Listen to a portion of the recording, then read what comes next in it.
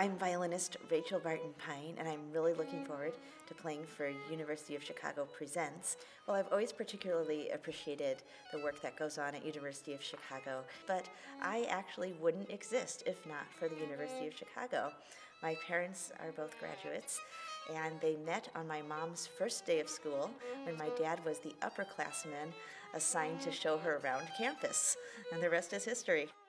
Of course, I've played the music of Bach for unaccompanied violin my entire life, and those are the famous six sonatas and partitas. Uh, but there's another set of six, sort of the other six Bachs for violin, and those are the six sonatas with keyboard. Of course, these are absolutely appealing to the heart